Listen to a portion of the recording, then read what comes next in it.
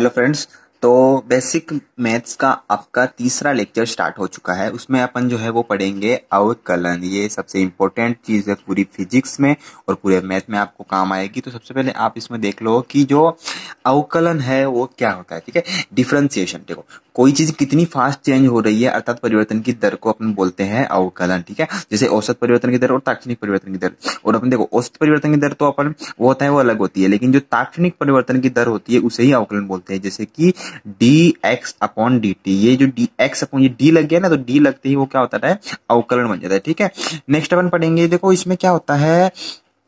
औसत परिवर्तन की दर क्या होती है? यहाँ एक बड़ा अंतराल होना आवश्यक है। मतलब एक से जस्ट, एक से तीन सेकंड तक या एक से चार सेकंड तक, दो से पाँच सेकंड तक, तीन से आठ सेकंड, इसे एक बड़ा अंतराल होना चाहिए। तो इसके लिए होता है, दो बिंदु होना ज़रूरी होते हैं। जैसे कि अपन यहाँ से स्टार्ट करते हैं, यहाँ पर पहुँचते हैं, पाँच घंटे लग रहे हैं, दो सौ किलोमीटर की दूरी है। तो इसमें स्पीड कितनी लगी? तो स्पीड क्या होता है? चेंज इन डिस्टेंस अपॉन में चेंज इन टाइम। देखो, पाँच घंटे लग गए, अपॉन में पाँच आ गया। ऊपर कितनी डिस्टेंस है? वो दो सौ है। तो ये आ गया, इसका सोल्व किया तो अपन चालीस किलोमीटर पर आवर। इसकी औसत चाल आई, क्या आई? औसत चाल, ठीक है? दूसरा होता है ताक्षणिक चाल, वो अपन बात पढ़ेंगे। तो उसका नया स्टार्ट टॉपिक करते हैं अपन, ताक्षणिक चाल। इसमें देखो, क्या होता है? किसी बिंदु विशेष, अपन कोई बोले कि पांचवे सेकंड पर बताओ, दूसरे सेकंड पर बताओ, तीसरे सेकंड कोई अंतराल नहीं दे रहा कि दो से पाँच, ऐसे नहीं दे रहा। वो दे रहा है कि पांचवे सेकंड चौथे सेकंड तीसरे सेकंड या आठवें सेकंड कुछ भी मान लो नौवे सेकंड ठीक है? वैसे है। तो इसको कैसे करते हैं? देखो, इसमें होता है अवकलन को, चलो अवकलन की कैलकुलेशन करते हैं। देखो, इसमें क्या होएगा?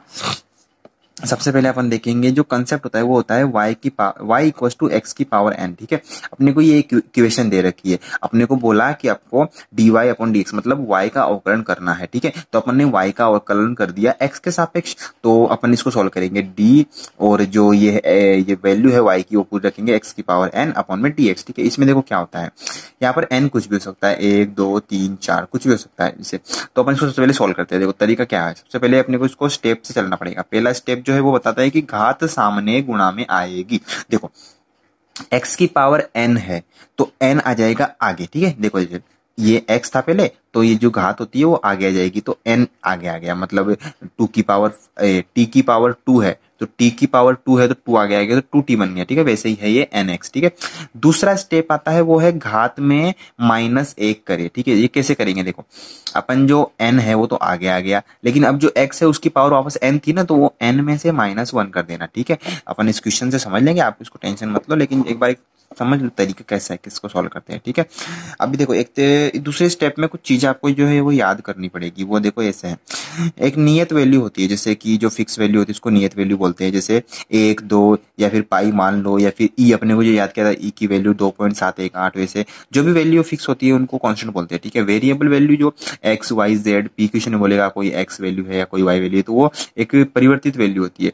और ये ये वो एक फलन होते हैं मतलब जहाँ एक का दूसरे पर निर्भर, देखिए, y equal to two x square होता है मतलब y में अगर कुछ चेंज करेंगे तो x में भी चेंज होगा, x में कुछ चेंज करेंगे तो y में, ये तो अलग फलन आते हैं, इसको छोड़ो आप।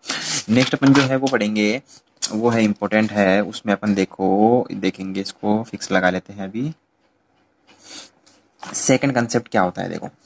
ये आपको तो मैंने पहले बताया था कि a, one one upon x की पावर एन है तो अपन जब पावर को ये पूरी वैल्यू को ऊपर लेके जाएगी तो पावर को प्लस माइनस हो जाएगा तो ये वैसे ही है देखो। ये मतलब एक्स जो एन एक्स की पावर एन था, उसको अपन ऊपर लेके गए तो एक्स की पावर माइनस एन बन गया, ठीक है? अब इसको सोल्व करो, इसका अवकलन करो। अवकलन में मैंने क्या बोला था? घात आगे आ जाएगी। तो इसकी घात क्या है? माइनस एन तो माइनस एन आ गया आगे।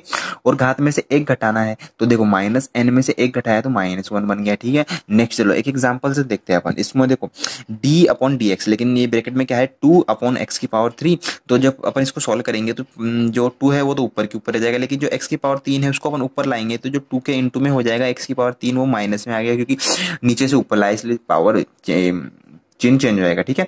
देखो, दो है पावर आगे जाएगी माइनस तीन एक्स पहले से है माइनस तीन में से एक घटाया माइनस तीन माइनस वन ठीक है? ये कितना गया? माइनस का चार। तो माइनस का तीन दूनी छह एक्स की पावर माइनस चार, ठीक है? कंसेप्ट थर्ड है। थर्ड कंसेप्ट में देखो एक्स अंडर रूट में है, ठीक है? तो अपन अंडर रूट को क्या बोल सकते हैं? अंडर रूट को अपन बोल सकते हैं एक्स की power one by two under root का मतलब ही तो होता है ना वन बाय टू पावर तो वैसे है, ठीक है? अभी देखो इसमें क्या होता है, जो x है, उसको अंडर रूट लगाया हुआ है। जो n है ना, n ये बता रहा है कि under root one by three है या वन बाय टू है, वो है, इसको बता रहा है, ठीक है? तो अपन इसको लिख सकते हैं x की पावर वन बाय एन जब इसका अवकलन करेंगे तो पावर आगे आ जाएगी वन बाय एन आगे आ गया, और x की पावर वन बाय एन पहले से था माइनस वन कर दिया, क्योंकि पावर में से एक घटाते हैं, ठीक है? एग्ज़ाम्पल के लिए आपको ये देख सकते हो, इसमें है एक्स की पावर तीन बटा दो। जब इसको सोल्व करेंगे तो पावर आगे आ गई, तीन बटा दो। एक्स की पावर तीन बटा दो माइनस वन बन गया, ये तीन बटा दो इसको सोल्व करेंगे तो आपको आ जाएगा ये, ठीक है? कंसेप्ट फोर है, उसमें होता है डी एक्स की पावर वन ठीक है?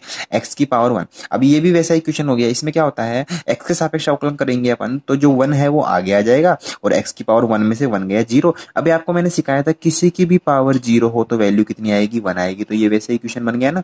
इसमें एक्स की पावर ज़ीरो रखिए तो बताओ वैल्यू कितनी आएगी? एक्स की पावर ज़ीरो तो वन आ जाएगी, ठीक है? किसी की पावर ज़ीरो रखो आंसर आएगा वन तो वन पहले से है वन इंटू कर वन बन गया, ठीक है? अपन देखो इसमें इंपॉर्टेंट चीज़ एक और होती है। इसमें जिसके सापेक्ष अवकलन करते हैं, वो अगर ऊपर वाले के सेम रहा तो आंसर आएगा वन जैसे कुछ, ये d y upon d x है तो वन बन गया d z upon d z है तो वन बन गया। D ten x upon x है तो इसको देखो कैसे सोल्व करते हैं। देखो, सबसे पहले टेन का अवकलन, ये तो एक नियत वैल्यू होती है तो वैसे के वैसे लिख दिया टेन का अवकलन वैसे के वैसे। लेकिन इंटू में यहाँ पर एक्स है तो जो एक्स होता है, वो एक्स के सापेक्ष, देखो यहाँ पे दिखा ना अपने की वाई के सापेक्ष वाई जेड के सापेक्ष जेड वन हो जा रहा है तो वैसे ही है। एक्स के सापेक्ष एक्स का अवकलन वन हो गया ना।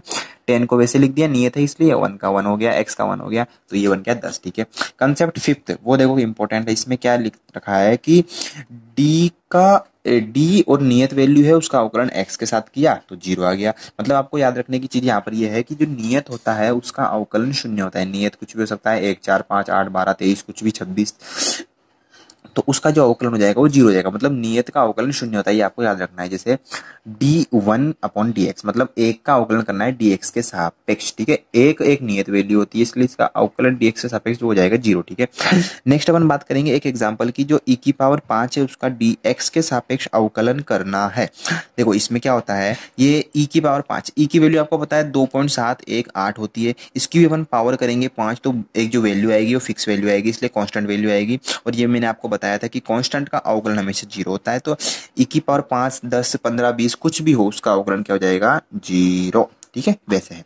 अभी अपन देखते हैं सम इंपॉर्टेंट फॉर्मूला फॉर अवकरण देखो अवकरण के लिए कुछ इंपॉर्टेंट फॉर्मूले आपको याद करने हैं कि साइन की वैल्यू क्या होती है कोस की वैल्यू क्या होती है। मतलब वैल्यू नहीं मतलब अवकलन के बाद वो क्या बन जाते हैं वो, ठीक है? इसमें देखो, सबसे पहले अपने को देखा है वो है कि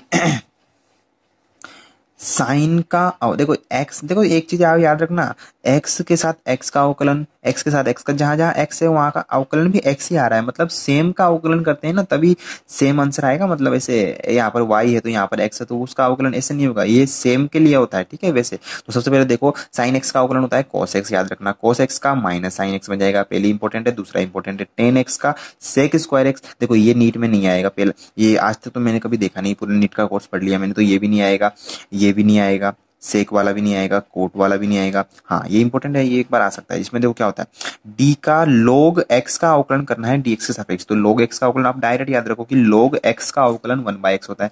लोग एक्स का अवकलन वन बाय एक्स होता है। लोग एक्स का अवकलन वन बाय एक्स होता है। ठीक है डायरेक्ट याद रखना। नेक्स्ट अपन एक और है, उसमें है कि ई e की पावर एक्स का अवकलन। ठीक है, देखो आप इसको डायरेक्ट याद रखो। ई e की पावर एक्स का अवकलन जो हो जाएगा, वो जाएगा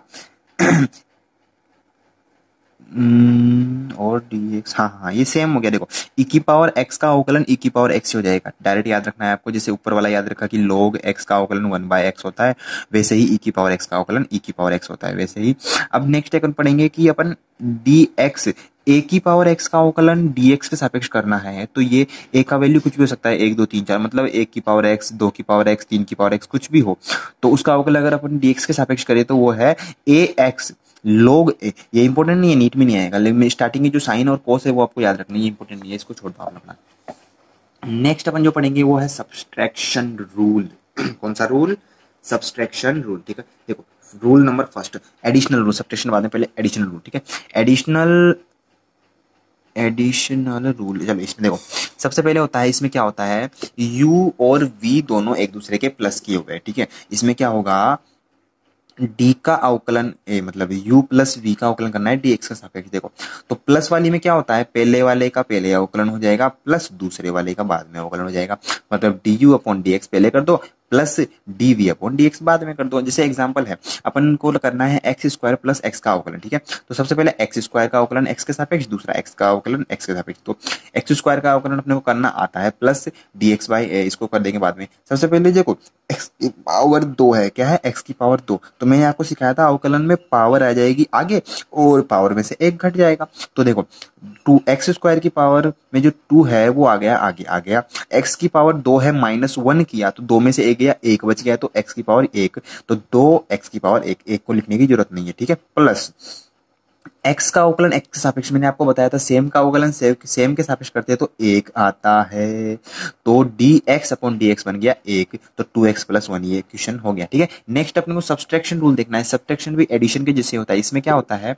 वहाँ पर जैसे यहाँ पर प्लस था, वहाँ पर माइनस लगा देना। पहले यू का अवकलन कर दो माइनस वी का अवकलन कर दो। एग्ज़ाम्पल के लिए देख सकते हो आप। इसमें क्या है? एक्स की पावर पाँच प्लस एक्स की पावर छह बटा छह plus sine x cosec x ठीक है? इसको देखो सॉल्व कैसे करते हैं अपन। देखो साइन एक्स को अपन लिख सकते हैं एक बटा कोसेक ये ट्रिग्नोमेट्रिक रूल है टेंथ में आपने पढ़े होंगे। साइन एक्स को अपन लिख सकते हैं एक बटा कोसेक तो साइन का लिख दिया एक बटा कोसेक कोसेक नीचे आ गया कोसेक ऊपर आ गया, दोनों कोसेक कट गए तो ये पूरा कट गया। यहाँ पर बन गया कितना? वन वन वन बन गया, ठीक है? याद रखना, यहाँ पर वन बना था। इन दोनों को काटा, तब यहाँ पर बन गया वन ठीक है? नेक्स्ट अपन देखा कि जो एक्स की पावर पाँच है, उसका अवकलन डी के, इसके सापेक्ष करो। तो पाँच आ गया आगे, पाँच में से एक गया चार तो पाँच एक्स की पावर चार तो ये बन गया पाँच एक्स की पावर चार, ठीक है? प्लस दूसरा है ये छह आ गया आगे तो छह एक्स की पावर छह में से गया पाँच तो छह एक्स की पावर पाँच बटा छह छह से छह कट गया, ऊपर आ गया पाँच तो छह एक्स की पावर पाँच बटा छह, ये कट गया, यहाँ पर बन गया पाँच। नेक्स्ट यहाँ पर एक और बच रहा है, ये एक है ना, ये एक, इसका भी अवकलन करना है अपने को डीएक्स के सापेक्ष। लेकिन आपको पता है, जो एक है वो नियत राशि है तो डीएक्स के सापेक्ष नियत राशि का अवकलन ज़ीरो होता है तो यहाँ पर प्लस में ये लो प्लस में ज़ीरो भी था, ठीक है? वो यहाँ पर लिखा नहीं मैंने। नेक्स्ट थर्ड रूल आता है, वो आता है मल्टीप्लाई रूल ये भी इंपॉर्टेंट रूल है, यहाँ पर भी आपको सीखने की ज़रूरत है। इसमें देखो क्या होता है।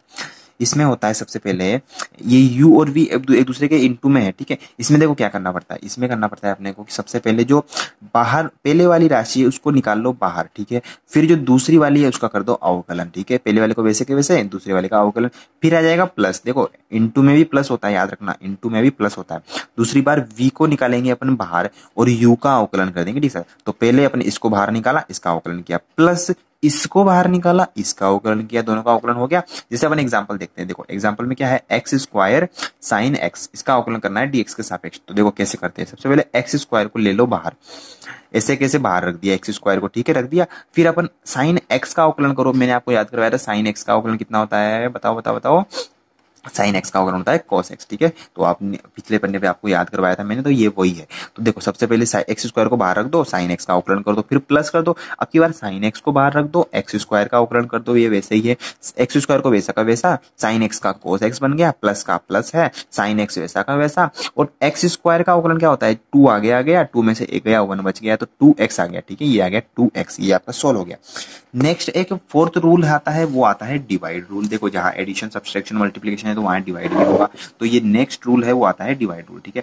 डिवाइड रूल में आपको फिर से सीखने की चीज़ें ये है कि देखो हम्म, ये लो।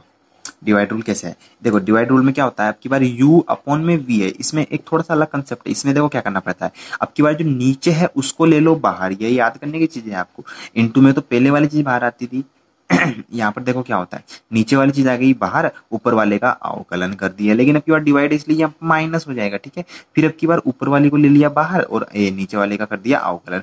टोटल के अपोन में जो हर में हर में मान है, उसका स्क्वायर करना है। याद रखना चीज़ को।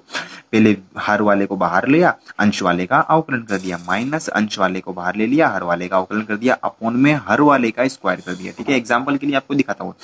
अपने को साइन एक्स अपॉन में एक्स का अवकलन डीएक्स के सापेक्ष करना है। एक्स से एक्स को मत काटना, ये कौन काटता है? कुछ अलग तरह के डॉक्टर होते हैं, वो काटते हैं अपने को। ये नहीं काटना, अच्छे डॉक्टर बनना है। तो साइन एक्स का जो एक्स है और नीचे जो एक्स है, उसको नहीं काटेंगे। अपन देखेंगे, साइन एक्स का अपॉन में एक्स का अवकलन करना है डीएक्स के सापेक्ष। देखो कैसे करते हैं। सबसे पहले हर वाले को ले लो बाहर अंश वाले का कर दो अवकलन। माइनस अंश वाले को ले लो बाहर, हर वाले का अवकलन कर दो। अपॉन में हर वाले का स्क्वायर कर दो, ठीक है?